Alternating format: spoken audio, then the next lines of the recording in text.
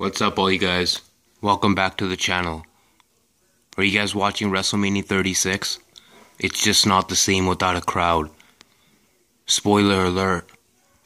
As- Asuka and her opponent lost to Alexa Bliss and Nikki Cross. Nikki Cross and Alexa Bliss are now the champions, women's tag team champions. This WrestleMania is weird. Lot of botches in the first match. Now it's King Corbin versus Elias. They even botched it on the mic. This WrestleMania is not the same without a crowd. Why is the wrestlers talking to crowds like they're there?